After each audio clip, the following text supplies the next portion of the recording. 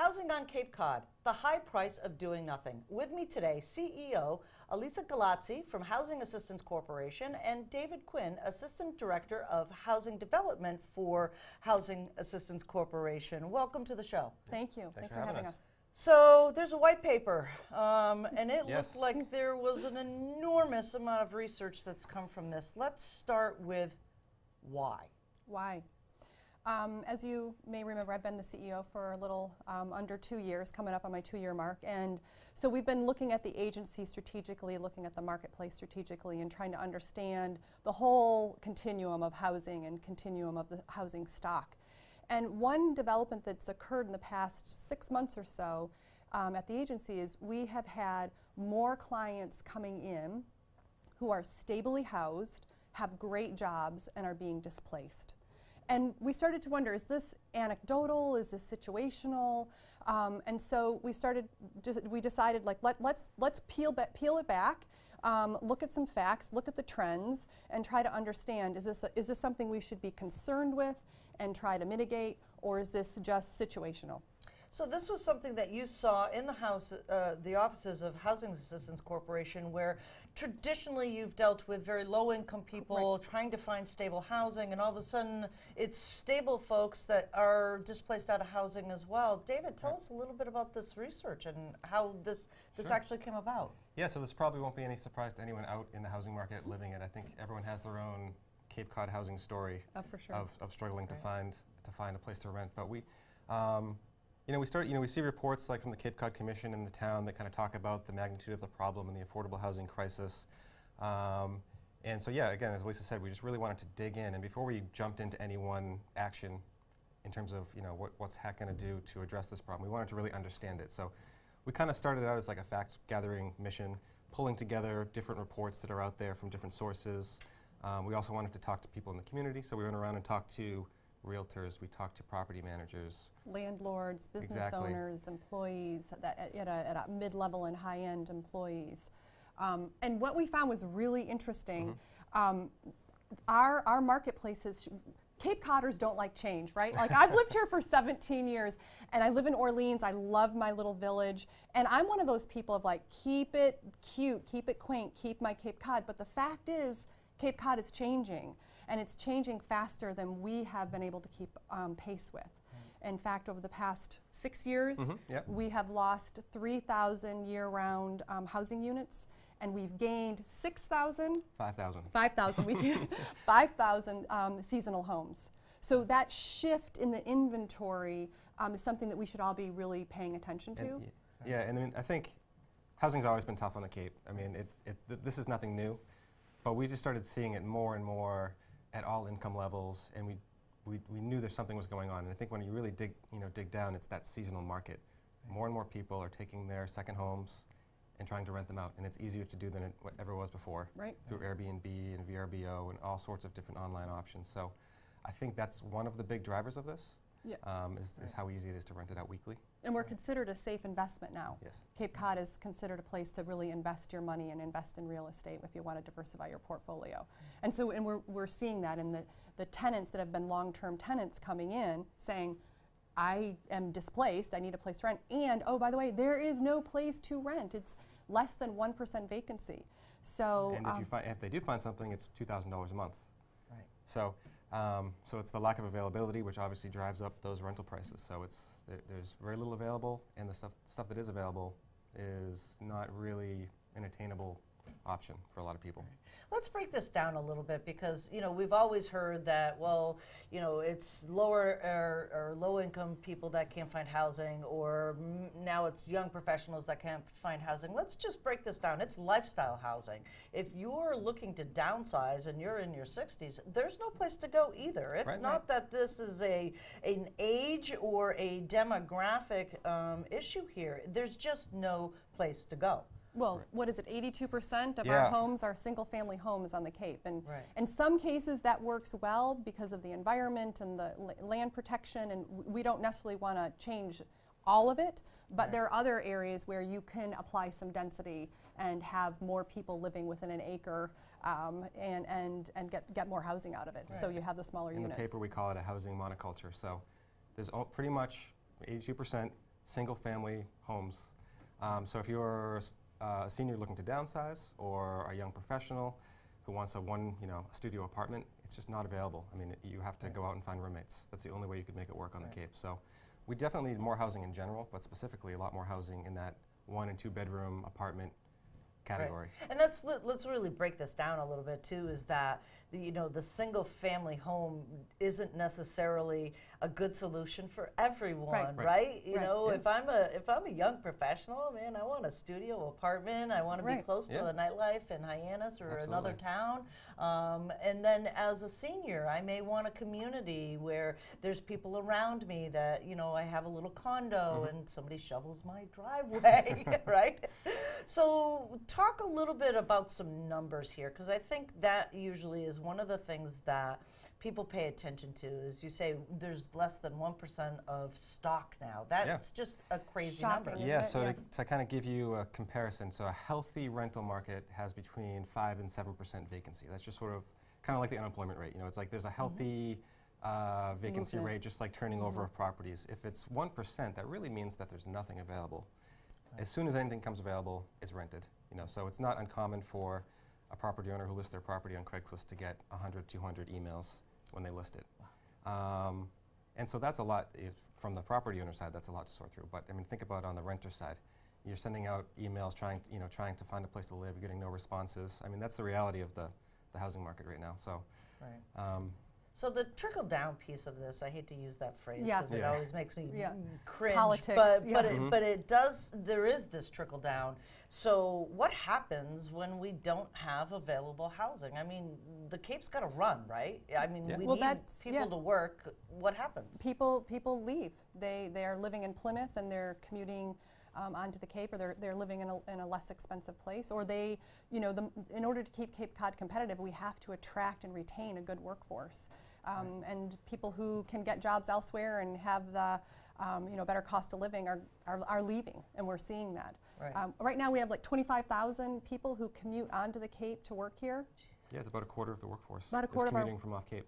That's just insane. It Yeah. is, and, and but think of like the people in live in Orleans and outwards. They're not commuting all the way, you know, past that rotary, Right. because they're it's too far when they don't have to commute as far, and you know there's there's more jobs closer to where they live. So the impact is is is impressive. Right, And and and what I guess kind of got me. I read this report th- uh, today, and what's gotten me is that there's no prisoners. I, literally across the spectrum of business on Cape Cod, from Yep. municipalities right down to we always know the restaurants and the tourism industry. But the has had- banks and- but the banks and you know your mom and pop shops and sure. your landscaping and Absolutely. your building trades. I think that's what might, Healthcare. that's what might be the most biggest. surprising to people if you read this is that you know there's this perception that it's yet lower middle income people that are having trouble finding housing. But what we found in talking to Yep. bankers and the healthcare industry is that they're offering good paying jobs, 80,000 plus jobs, yeah, executive level jobs. And uh, candidates are saying, I'd love to, but I, I can't find a place to live. Can't come here. And. I'm not Yeah. ready to buy yet. Even, you know, even if their salary maybe would allow them to buy, right. you know, you're not Or they can buy more elsewhere. You know, they, they start looking at Yeah. other regions that are as attractive and other jobs that are as So it becomes a real factor in someone's decision if they're going to take a job here, if they're not from here, Right. um, and they don't have that personal connection to it, and you're trying to recruit talent, um, it becomes a problem for sure. But also just for local Cape Codders who are, you know, born and raised here and who, um, or, or that live here now, right? It, it's hard to imagine how are you going to afford your life and save for retirement and raise your kids and work at jobs that aren't as much as you could make elsewhere, but your housing cost is a lot higher. So mm-hmm. it's the whole the whole picture, the whole economics for a family and for the community that's important for us to be talking about. Right, and one of those figures that I want you to tell people about is 30% of their income is going to housing. Well, that's the average. That that- That's the average. That's People- sort of yeah, that's sort of the number that we, you, you know, the kind of the standard you'd use to determine. That's if- healthy. Yeah, Thirty that percent is fine. healthy. That like anything over thirty percent, you start your your house Right. poor. You Right. know, you you have the possibility of housing instability in your future, um, and yeah, the quality of life. So But if you're paying, you know, over two thousand dollars a month, you know, you're well, you're well over thirty percent. So um, that, that's definitely, it's very common to go over that. And We, we see it all the time. So we know we have the problem, right? Yeah. And the cost of doing nothing is really, really high. So, you didn't just do a numbers paper. You kind of looked at the problem and you said, what are some of the solutions? What are some of the things? We don't want just one solution. We need multiple solutions because it's a multi-tiered problem. So w- where are we going? Well, we also looked at other communities that are a little further ahead of the curve, Okay. right? You know, Nantucket, Martha's Vineyard, some um, communities in Colorado, and started to, to anticipate what what's happened for them could potentially happen for us. Higher price of goods and services, lack of services for retirees. You know, there's a fear factor, if you will, of if you can't house your workforce and the people that need to keep our community and our economy going, that that starts to have a real impact on daily life. Yeah. So it, wa- it became, we, mm-hmm. we don't want to be like the, you know, fear mongers, but it, it can be a little bit scary looking ahead of this. This could be a community that isn't available to any of us who are living here now, right? And none of us, none of us want that. We work so hard to live here, and we love so much living on Cape Cod. But how do we preserve it and protect it and um, create a contained workforce? Uh, some of the strategies that we, we looked at, we have a long-term strategies and short-term strategies. Um, the long-term are obvious, right? We've been talking about them for years. Yep. Zoning, zoning, zoning Infrastructure. Right. zoning and infrastructure, and they, the two conversations not happening in silos. If we can get wastewater um, conversation to be happening at the same time, or, or the realization that it impacts housing, and those conversations happening together, that's going to be more beneficial for the community and for the town and for our region. Um, so those those conversations have to be um, in earnest um, coming together. And let's just give some folks some examples of what, like what could happen where you might be able to have a three or four story apartment building in a, an area that's already sewered. Well, let's not even go three or four stories because that really Right. can be scary. Two stories. How about like commercial on one level and up above apartments, There right? It doesn't go. have Yep. to be. Um, Right. It doesn't have. We don't have to look off Cape to Right. to f- try to find something that fits that doesn't fit into our our region. Yeah, and we and, and the, the other thing is we also recognize that not every place in every town is going to be appropriate for something like this. So Exactly. we, we talk about how you know there's a reason that's you know the zoning in some areas is set up to protect the environment. You know there are certain areas that we, you know we need to need to maintain For sure. in its natural beauty, but there are other areas like village centers where it w- would make sense to start thinking about um, how can we add more housing units again above stores, Right. accessory dwelling units, so sort of like your in-law apartment, allow people to do that uh, more easily would, would go a long way. Yeah, no, to, to, to the accessory dwelling point, D- Mm-hmm. David, is that that is something in a short term that we can add inventory quickly into the marketplace. Right. Um, if we can, if we can allow people who already have a home without adding any more bedrooms, they already have their septic. Like, can we can we get an in-law apartment? Um, that will help um, relieve some of the pressure in the marketplace for sure. Right, th- and those are great spots, especially if you're thinking if it might be a senior. I mean, having somebody on property with For you sure. would be a, a, a great solution for their needs as well. Or even a, even a second homeowner who wants somebody on the, the property year round, right. There's a lot of scenarios that it, that it could work out for families, children coming back. You know, my one of my daughters getting ready for high school or leaving, graduating from high school. I'm like, maybe I could get an accessory dwelling so she could come back and Right. work and live here. Um, things like that. So there's a lot of different, you know, scenarios for yeah, people. just letting people be creative with their properties and you know doing it in a way that you know works for that them. works for them. Right. Yeah. Well, the second homeowner who, uh, more often than not, that property is vacant for most of the year. There can be some incentives for them to rent year round rather than short term rentals, correct? Yep. So that you're leading us to our our, our new program, which is Rental 36 Rent 365. 365. We've changed the name a hundred times. David knows more about it than I do at this point. Rent 365. But Okay. the idea is that there are 60,000 seasonal homes in our region. Right. Can any of them convert to a year-round tenancy? I mean, obviously, waterfront property, no. People that come um, throughout the year and use their property, no. But I live in Orleans. There are two homes in my neighborhood. I've lived in the same house for 15 years. I don't know if I've ever seen them there a week the whole 15 years. They don't come for whatever life situation, um, live out of state, maybe it's owned by a trust. So we're looking like for that sweet spot. Can we can we find any of those um, homeowners that would convert or consider converting to a lease? This is just amazing information. We're going to have more conversations about this, near and dear to my heart as a Chapter 40B, one of the first Yeah. on the Cape. Good for you. Um, and we are in that position now where we want to downsize but can't. Um, you know, we have an affordable house that we could get back into the market, but Yeah. there's no place for us to go. Exactly. Right. So, you know, let's all work together. So that's my next question is Yeah. how can we work together? What can the average citizen who, you know, maybe wants to do something or learn more, what can they do?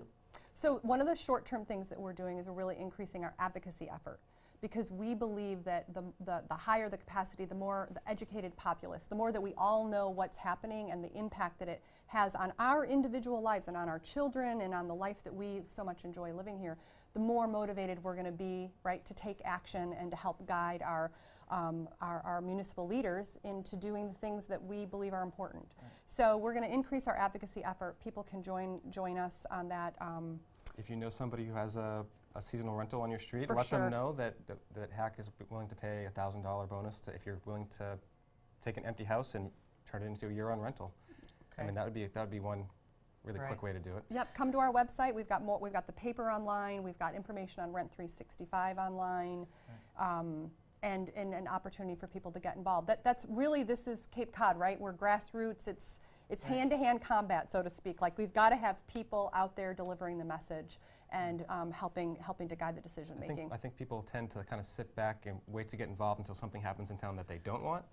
So we're trying to encourage people to learn For about this issue. So go to the Housing Institute, learn about learn about the issue and understand it, and then go advocate for what you do want to see and where you want to see it. Right, and I know Okay. that um, on a lot of town warrants uh, last year and coming up this year as well are going to be those accessible um, uh, accessory units Mhm. Yep. um, are going to be on your town warrants. So go to town meeting, get your voice heard. Can they get a hold of this uh, piece? Um, is this going to be available for people to read? It is. It's uh, capehousing.org. If you go there, it'll be posted online. Yep. So we, we developed a special website where we're going to um, have, have the report and have information on Rent 365, and people can sign up and uh, send us an email. We'll be back in touch. Fantastic Yeah. work, folks. Anything Yeah. else you want to give people uh, to end the show?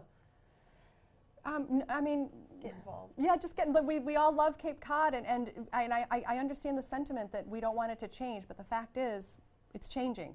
And we really need to get involved in, in, in uh, architecture of those changes in order to retain the beautiful place that we live and want to live. Thank you.